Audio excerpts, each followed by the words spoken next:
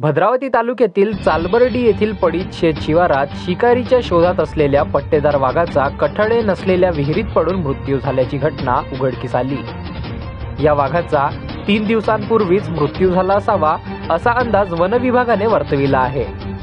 हा पट्टेदार वाघ पाच वर्षे वयाचा असून नरजातीचा आहे.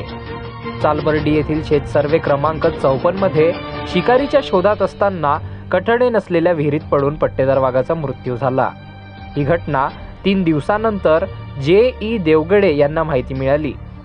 त्यांनी या घटनेची माहिती भद्रावती वनपरिक्षेत्र अधिकारी एच पी शेंडे यांना दिली. माहिती मिळताच घटनास्थळी सहाय्यक वनसंरक्षक जी आर नायगमकर यांनी घटनास्थळाची पाहणी केली असता नरजातीचा पट्टेदार वाघ हा कुजलेल्या अवस्थेत आढळला. सदर पट्टेदार वाघाचे शव टी टी सी चंद्रपूर येथे नेण्यात आले.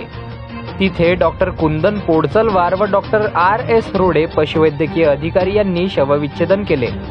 सदर घटनेचा पुढील तपास वन अधिकारी करीत आहे. देशातील व राज्यातील घडामोडी रोज सर्वात आधी बघण्याकरिता न्यूज बी एच डी चॅनलला सबस्क्राईब करा व बेल आयकनला ऑलवर सेट करा आणि बघा मराठी बातम्या रोज सर्वात आधी.